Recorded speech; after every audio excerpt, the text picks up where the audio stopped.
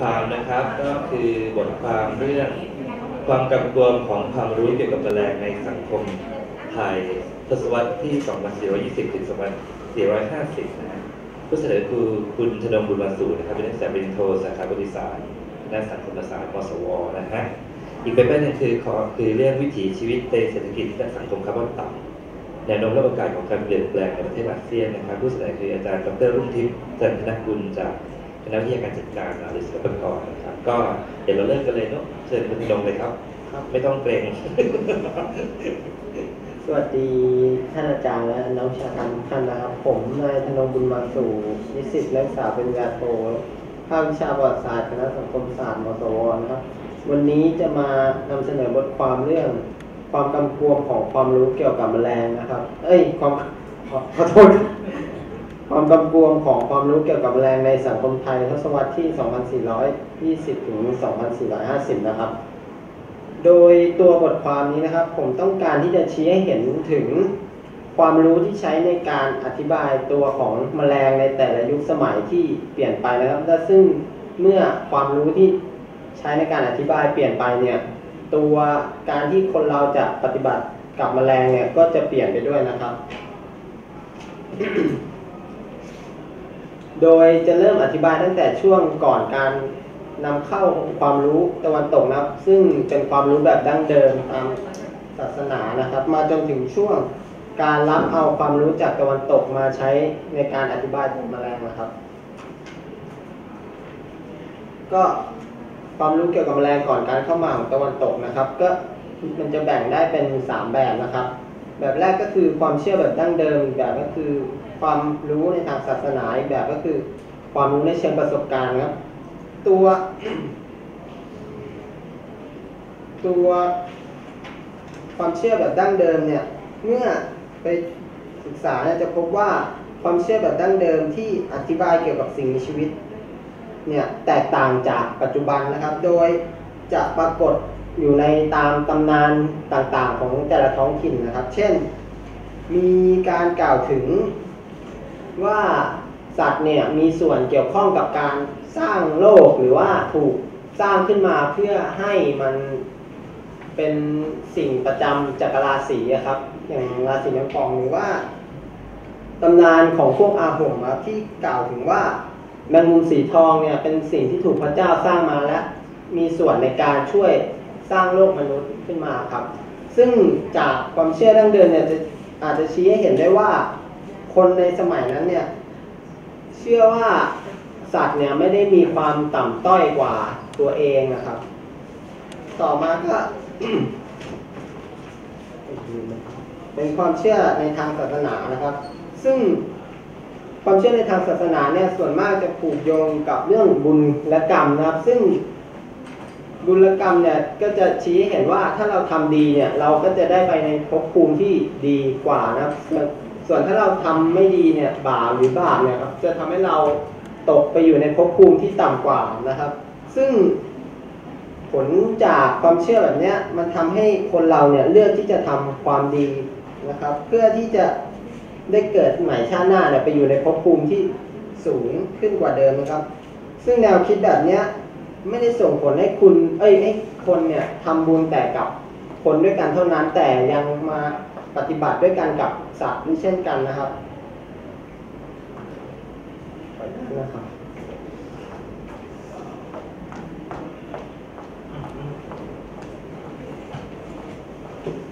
ซึ่งจะเห็นได้จากคัมภีทางศาสนาและชาดกนะครับ โดยเมื่อไปศึกษาคติความเชื่อจากไตรภูมินี่ยครับ จะพบว่ามีการแบ่งสิ่งมีชีวิตตามแต่บุญและกรรมนะคือ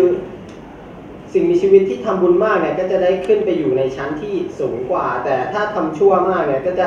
ตกลงมาอยู่ในชั้นที่ต่ำกว่านะครับ โดยสัตว์เนี่ยจะอยู่ในภพดิลฉานนะครับ ซึ่งในไตรภูมิเนี่ยได้อธิบายว่าไอ้พวกที่อยู่ในภพดิลฉานเนี่ยมาถึงพวกที่มีรูปกายไปทางขวาง หรือเป็นผู้ที่ห่างไกลจากมรรคผลนะครับ ซึ่งตัวแมลงเนี่ยก็จัดว่าอยู่ในภพดิลฉานด้วยเช่นกันนะครับทำให้อาจบอกได้ว่าเนี่ยถ้าเราทำชั่วมากๆเราอาจจะไปเกิดอยู่ในภพเนี่ยครับภพต่ำกว่านะครับ ต่อไปก็เป็นนี่อันนี้รูปแผนภาพแบบจริงความรู้ในเชิงประสบการณ์นะครับ ส่วนนี้ก็จะบรรยายถึง รูปลักษณ์ที่เราได้เจอกับสิ่งมีชีวิตนั้นๆนะครับ โดยบันทึกตั้งแต่รูปลักษณ์ที่อยู่อาศัยการกินนะครับ ซึ่งความรู้แบบนี้ส่วนมากจะพบในงานของชาวต่างชาตินะครับ ที่มาอาศัยอยู่ในประเทศไทยนะครับ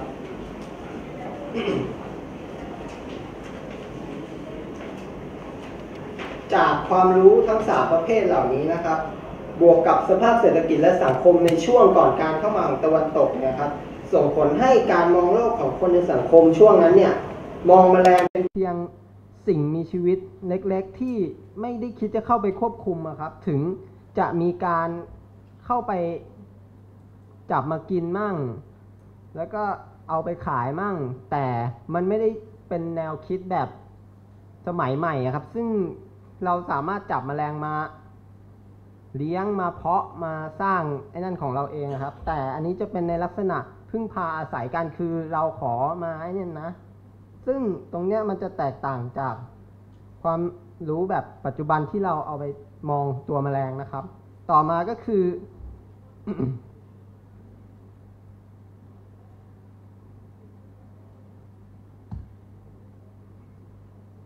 ความรู้เกี่ยวกับแมลงหลังการเข้ามาของ ความรู้แบบตะวันตกนะครับ ซึ่ง มันจะเข้ามาในรูปแบบของวิชาซูโลจีครับเพราะช่วงนั้นเนี่ย ช่วงทศวรรษ2 4 2 0 เนี่ย วิชากีตะที่เป็นวิชาเฉพาะของแมลงเนี่ย ยังไม่เข้ามานะครับ ตรงส่วนเนี้ยเราจะมองคนในสังคม เอ้ย ชนชั้นนำสยามเนี่ยจะมองแมลงผ่านทางวิชาซูโลจีหรือก็คือสัตววิทยานะครับ ซึ่งเท่าที่สืบค้นมานะครับวิหนังสือเรื่องรัชดาพิเศษเป็นตู้ทองของการเล่าเรียนรวมศึกษานุกรมทั้งชั้นต้นชั้นกลางและชั้นสูงเนี่ยเป็นหนังสือเล่มแรก ๆ เท่าที่เจอในตอนนี้ครับ ที่มีบันทึกว่ามีวิชาซูโอโลจีอยู่ในเล่มนี้นะครับ โดยในส่วนของวิชาซูโอโลจีในเล่มนี้จะ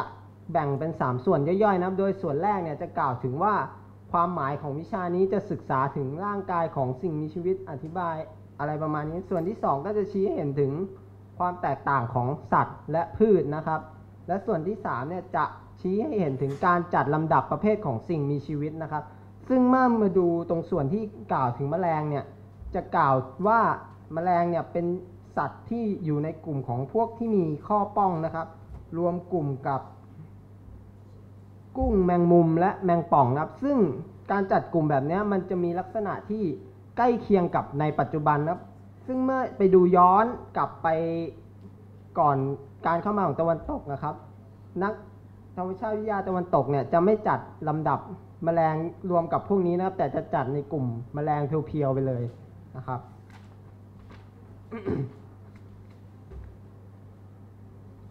ซึ่งผลจาก ในช่วงนั้นด้วยเนี่ยเมื่อเศรษฐกิจก็เปลี่ยนไปความรู้ก็เปลี่ยนไปเนี่ยมีการค้าขายกับต่างชาติมากขึ้นนะครับทำให้เกิดทำให้การอธิบายโลกตามหลักไตรภูมิเนี่ยลดความสำคัญลงไปนะครับ เกิดเป็นเน้นการอธิบายโลกเนี่ยด้วยหลักกายภาพนะครับทำให้คนเราเนี่ยมองแมลงเปลี่ยนไปจากเดิมที่ มองว่าแมลงเนี่ยเป็นสิ่งมีชีวิตที่ เราอยู่ร่วมกันได้เนี่ยไม่ไปเบียดเบียนเขากลายเป็นแมลงเนี่ยสามารถเอามาใช้ประโยชน์ได้นะครับ แล้วก็ถ้ามันทำผลเป็นโทษให้กับผลผลิตของเราเนี่ย เราก็สามารถที่จะหาวิธีไปกำจัดมันได้นะครับแมลงกับต่อไปเป็นหัวแมลงกับแนวคิดอัตประโยชน์ธรรมชาตินะครับ โดยอันเนี้ยจะเห็นได้ชัดๆจากการตั้งกรมช่างไหมขึ้นมานะครับ ซึ่งแต่แรกเนี่ยการเลี้ยงไหมเนี่ยมีอยู่ในไทยมานานแล้ว แต่มันไม่ได้เป็นการเลี้ยงแบบส่งออกครับ แต่เป็นการเลี้ยงแบบผลิตในครัวเรือนใช้เองทำเอง ซึ่งคุณภาพไหมที่ทำเองเนี่ยมันต่ำมากทำให้เวลานั้นรัชกาลที่5เนี่ยเห็นว่าไหนๆเราก็ต้องเสียค่านำเข้าไหมมาจากต่างชาติเนี่ย เราก็ส่งเสริมการผลิตไหม ให้มันเป็นรูปธรรมเป็นชิ้นเป็นอันเอาซะ โดยซึ่งเมื่อ มีนโยบายนี้ขึ้นมาเนี่ยก็ได้มีการจ้างนายโตยาม่าเข้ามานะครับ ซึ่งเป็นชาวญี่ปุ่นที่นำเอาเทคโนโลยี การเลี้ยงไหมแบบใหม่เนี่ยมาให้กับเผยแพร่กับคนในเอ้ยเผยแพร่กับชาวบ้านนะครับ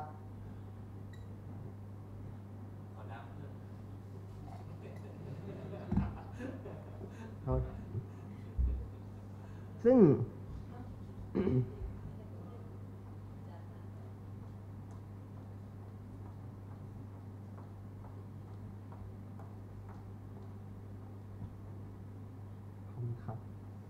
ซึ่งหลังจากนายโตยาม่าเข้ามาแล้วเนี่ยครับ ได้เผยแพร่แนวคิดก็การเลี้ยงไหมแบบใหม่เข้ามาให้ชาวบ้านนับจนเกิด จนในที่สุดเนี่ยครับ ก็ได้มีการตั้ง สถานีทดลองการทำไหม ขึ้นที่ตำบลสาราแดง จังหวัดกรุงเทพครับ โดยที่เนี่ยให้เป็นสถานที่ทดลองของพวกทำไหม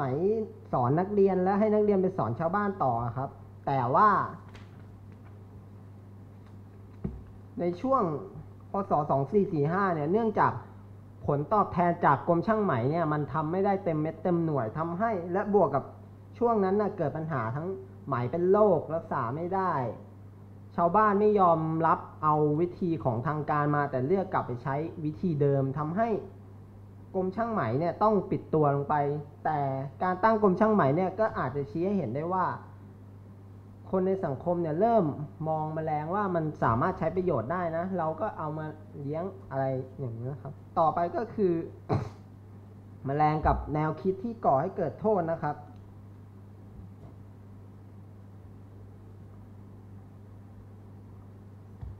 ซึ่งเมื่อเราไปดูตาม ตาม เราไปดูตามอขอโทษนะครับ คือ ซึ่งเมื่อในทศวรรษ 2000 เอ้ย 2450 เนี่ยครับ จะพบว่ากระทรวงเกษตรตาธิการเนี่ยจะมีการได้รับรายงานถึงแมลงศัตรูพืชหลายชนิดเนี่ยที่เข้ามาทำลายพืชผล ในเอ้พืชผลผลิตที่เราจะส่งออกไปอะครับ ตัวหลักๆก็มี หนูปู ส่วนแมลงสำคัญสำคัญก็พวกแมงกะชอน เพี้ยไฟ เพี้ยก้อนดิน เพี้ยหนอนขยอกขยอก หนอนกอตัวบุ้งก็คือไอ้พวกเนี้ยครับ เพี้ยไฟขยอก แมงกะชอนหนอนกอ แล้วก็เมื่อ ซึ่งตรงเนี้ยจะเห็นได้ว่าแมลงบางชนิดเนี่ย มันอยู่คู่กับสังคมไทยมา ตั้งนานแล้วแต่มันไม่เคยถูกเทคว่าเป็นศัตรูพืช ต้องเอาไปหาวิธีกำจัดอย่างเช่นช่วงนี้ครับ ซึ่งเมื่อ รัฐเนี่ยรับรู้ว่าพวกนี้เป็นศัตรูพืชแล้วก็ได้ให้คนไปหาวิธีจัดการกับแมลงพวกนี้ครับ ซึ่งเมื่อเราดู วิธีการจัดการเนี่ยจะพบว่ามันแปลกมากครับ คือ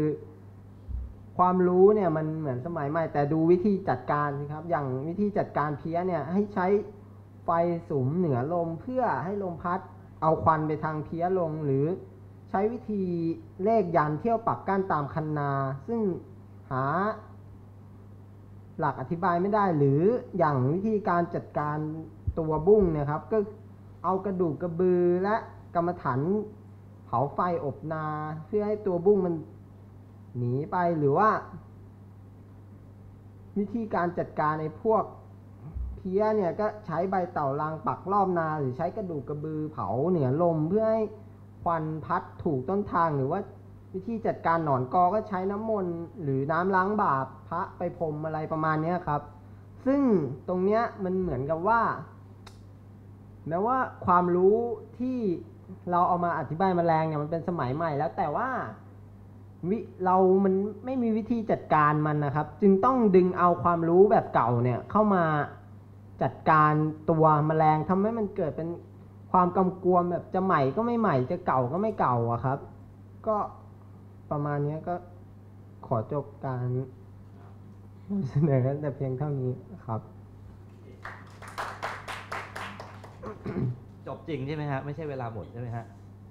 เปล่าครับมันตามจริงมันยังมีต่อแต่เอาอันหลักๆก็อีกเยอะไหมฮะอีกเยอะไหมฮะ อ๋อหลังมันเป็นหลังจากอันนั้นแล้วครับ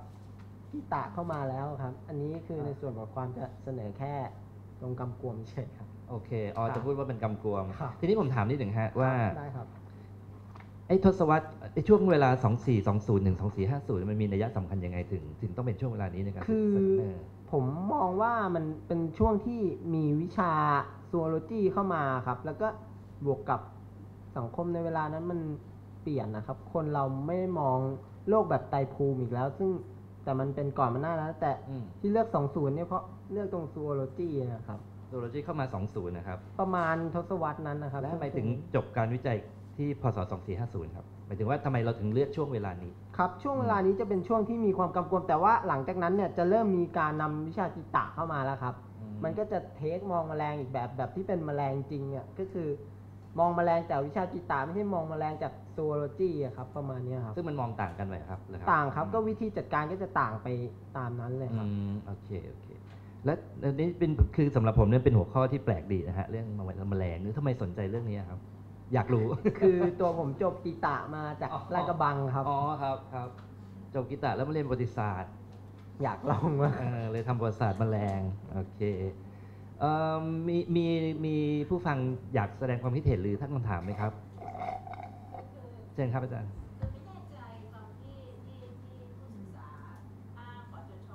คือไ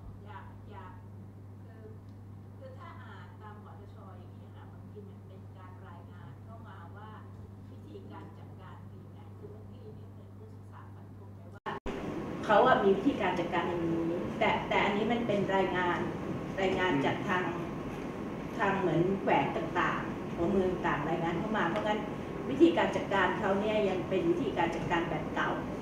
ครับนะคะเพราะงั้นเนี่ยมันอาจจะไม่ใช่เรื่องที่ว่าเรื่องที่ว่า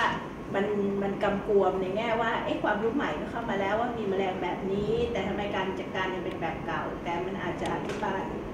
ในความหมายว่าความรู้ใหม่เนี่ยมันเข้ามาถึงแค่ไหนคืออาจจะเข้ามาแต่ชนชั้นสูง คนคนที่อยู่เมืองหลวงที่จะรู้ว่าความรู้ใหม่ว่ามันมีวิธีการจัดการแต่วิธีการจัดการ ของหัวเมืองอะมันยังเป็นรูปแบบเดิมมันคือคือเพราะว่าเพิ่งมาศึกษาประวัติศาสตร์ตัวหนึงที่จะเห็นชัดและที่อยากให้เราดูก็คือเช่นก่อนรัชกาลที่สามนะพอมีเอ่อเหมือนอาฮิวามีอะไรเราจะเป็นแบบว่าทำบุญใหญ่ใช่ไหมฮะสาดน้ำมนต์อะไรเงี้ยเพื่อขับไล่เสน่ห์จากใบออกไป แล้วตอนหลังพอพอหลังรัชกาลที่สามช่วงปลายรัชกาลที่สามมิชชันนารีเข้ามาเราก็รู้ว่าโรคบางโรคมันต้องรักษาด้วยยาสมัยใหม่เพราะมันก็เริ่มรักษาจาก จากเมืองหลวงแล้วก็จ่ายออกไป คือคือถ้าตรงนี้อะค่ะไม่แน่ใจว่าพัฒนาเป็นวิทยานิพนธ์ใช่ไหมคะครับจบเรียงคะอย่างอย่างครับเพิ่งจะเริ่มอ่าเพิ่งเพิ่งจะเริ่มเพราะงั้นอาจจะอาจจะลองดูขีดวงว่าความรู้สมัยใหม่เนี่ยพอมันเข้ามาตรงส่วนกลางแล้วเนี่ยในกรุงเทพแล้วมันเริ่มขยายตัวเนี่ยเข้าไปกรดไอความรู้เก่าเนี่ยเมื่อช่วงไหนช่วงไหน เพราะว่า ไอรายงานตัวนี้เข้ามาน่าจะเป็นการบอกว่าความรู้เก่าที่กระจายอยู่มันมีชุดความรู้อะไรบ้าง แล้วพอความรู้สมัยใหม่เข้ามาเนี่ยทางเมืองหลวงเนี่ยได้มีการ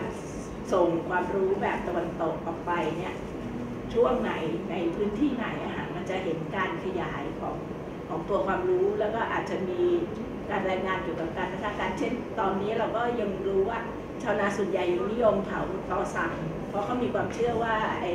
การเผาตอสังจะทำให้ตัวแมลงที่ที่อยู่นั้นน่ะมันไม่ขึ้นมาใช่ไหมในขณะที่ทางวิทยาศาสตร์ก็พยายามบอกอย่าไปเผาตอซ้ำมันทำให้โลกร้อนอะไรประเภทอย่างเงี้ยแต่มันก็ยังความรู้ชุดความรู้นี่มันก็ยังเคลื่อนอยู่ในสังคมอะไรอย่างเงี้ยคือตรงส่วนเนี้ยครับเหมือนตัวส่วนกลางเนี่ยเขาให้พวกมณฑลเนี่ยไปหาวิธีจัดการแล้วส่งกลับมาให้เขาอะครับ แล้วเขาจะเอาประกาศเนี้ยไอ้วิธีจัดการเนี้ยถ้ามันได้ผลเนี่ย จะเอาไปเผยแพร่อีกทีอะครับ ก็ผมก็เลยมองว่ามันเหมือนจะเก่าก็ไม่เก่าจะใหม่ก็ไม่ใหม่เหมือน รัฐโยนให้ชาวบ้านไปหามาครับ คือรัฐยังไม่มีวิธีจัดการนะก็ไปคิดมาแล้วกัน เดี๋ยวจะประกาศให้ทั่วประมาณเนี้ยครับไอ้ตรงส่วนเนี้ยครับครับแต่ก็ความเห็นขอบคุณอาจารย์มากครับที่ให้ช่วยให้ความเห็น ซึ่งก็อาจจะเอาไปเอาความเห็นที่อาจารย์เสนอมาพิจารณาในการในการพัฒนาวิทยานิพนธ์ต่อไปด้วยนะครับ มีท่านอื่นอยากจะแลกเปลี่ยนเพิ่มไหมครับ หรือมีคำถามไหมครับ อืม คือคือตัวผมเองเนี่ยผมผมตอนอ่านเปเปอร์ ก็มีคำถามนิดหน่อยคือ มันดูเหมือนกับว่า มันดูเหมือนกับว่าอาจจะไม่ใช่นะแต่อันนี้เป็นเซนส์ของผมเองที่รู้สึกว่า พอพูดถึงเรื่อง คือมันเหมือนมันมันมันอาจจะไม่สามารถแบ่งขาดได้ว่าณช่วงเวลานี้ความรู้ชุดนี้ และณช่วงเวลานี้ความรู้ชุดนี้ณช่วงเวลานี้ความรู้ชุดนี้ เพราะว่าอย่างที่ท่านอาจารย์พูดคือความรู้แบบแบบใหม่เข้ามาความรู้แบบเดิมมันก็ยังอยู่ แต่ว่ามันมีปฏิบัติการของมันในบริบทใดอะไรอย่างเงี้ยนะฮะมันมันมันยังมีอยู่ หรือแม้แต่ไอ้ไอ้ความไอ้ไอ้บางทีช่วงในเปเปอร์อ่านผมอ่านเหมือนว่าไอ้ความรู้เนี่ยไอ้ความรู้การอธิบายแมลงในฐานะเป็นศัตรูเนี่ยมันเป็นมันเหมือนเป็นวัฒกรรมในในในในทีใน paper นะเป็นวาทกรรมอยู่ในทีเพื่อจะเปิดโอกาสให้ไอ้ยาศัตรูพืชไอ้ไอ้การกำจัดศัตรูพืชแบบเคมีแบบวิทยาศาสตร์แบบ modern มันเข้ามาอะไรเงี้ยไม่รู้ไม่รู้คุณธนงมองคิดใน sense นั้นหรือเปล่าแต่พอดีผมอ่าน paper แล้วผมผมมีความรู้สึกเอ้ยมันดูจะมีแนวแนวนี้อยู่เหมือนกันในตัว paper นะฮะเออแล้วอีกอย่างหนึ่งผมคิดว่าความรู้ผมไม่ได้มีความรู้มากในเรื่องนี้นะฮะแต่ผมคิดว่าไอ้ความรู้ในเรื่อง คือคือมันย้อนสะท้อนย้อนกลับไปว่าการมองแมลงในฐานะศัตรูเนี่ยนะฮะ แต่ยังใช้ความรู้ชุดเก่าอะมองอธิบายแมลงแบบความรู้สมัยใหม่ ในฐานะศัตรูชุดหนึ่งชุดความรู้ชุดหนึ่งชุดความคิดชุดหนึ่งแต่ยังกำยังใช้วิธีใช้ความรู้ชุดเก่าในการกำจัดแมลง แสดงว่าความคิดว่าแมลงเป็นศัตรูมันไม่ได้เพิ่งมี ถ้าถ้ามันมีวิธีการกำจัดมาก่อนในอดีตแล้วนั้น แสดงว่าในอดีตก็มีความคิดชุดว่าแมลงคือศัตรูด้วยเช่นกัน ผมคิดว่ามันไม่ใช่มาเกิดเมื่อวิชาสัตววิทยาเข้ามาหรือเปล่าเอออันนี้ผมตั้งข้อสงสัยอยู่เออครับครับเออตรงนี้ผมมอง ผมก็ไม่กล้าฟันธงครับมัน ไม่ต้องฟันฮะ ผมหาหลักฐานช่วงหลังช่วงก่อนที่มันเป็นลักษณะนี้ไม่ได้ก็เลย ก็เลยยังบอกไม่ได้เหมือนกันครับอืมซึ่งถ้าสอบครับดีเฟนจะโดนนะครัฮะบครับอืมโอเค ท่านอื่นมีไหมครับ มีแลกเปลี่ยนหรือคำถามไหมครับ โอเค ก็ขอบคุณมากนะครับ คุณธนงครับตื่นเต้นขอบ ไม่เป็นไรเวทีขึ้นเวทีใหม่ๆก็เป็นเช่นนี้นะฮะเออโอเค ก็ขอให้พัฒนาวิทยานิพนธ์ต่อไปด้วยความสนุกนะฮะขอบคุณครับ ก็เปเปอร์ถัดไปนะครับ อาจารย์ดรรุ่งทิพย์จันทนกุลจากคณะวิทยาการจัดการศิลปากรนะครับ วิถีชีวิตในเศรษฐกิจและสังคมคาร์บอนต่ำแนวโน้มและโอกาสของการเปลี่ยนแปลงในประเทศอาเซียนเรียนเชิญครับอาจารย์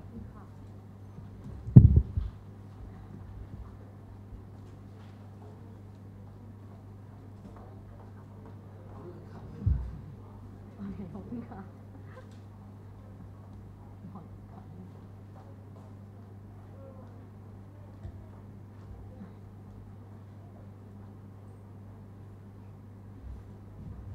สวัส ดีท่านอาจารย์พัสกรนะคะ แล้วก็ท่านอาจารย์ที่ร่วมเข้าฟังแล้วก็นักศึกษาทุกท่าน รวมทั้งเจ้าหน้าที่ที่อยู่ห้องนี้นะคะ ดิฉัน อาจารย์ดรลุงทิพย์จันทนากุลนะคะ จะมานำเสนอหัวข้อวิถีชีวิตในเศรษฐกิจ และสังคมคาร์บอนต่ำนะคะ โดยจะมองไปที่แนวโน้มและโอกาสของการเปลี่ยนแปลงในประเทศอาเซียนนะคะ คือแค่หัวข้อนี้จริงๆ ก็อาจจะสร้างความ สงสัยแล้วว่าไอ้ประเทศอาเซียนเนี่ยมันจะมีกี่ประเทศ เนื่องจากว่าเรามีสมาชิกด้วยกัน 10 ประเทศนะคะ แต่ว่าอันนี้เป็นบทความวิชาการนะคะ เพราะฉะนั้นก็เลยนำเสนอให้เห็นถึงการพัฒนานะคะเศรษฐกิจและสังคมคาร์บอนต่ำในบางประเทศเท่านั้นนะคะ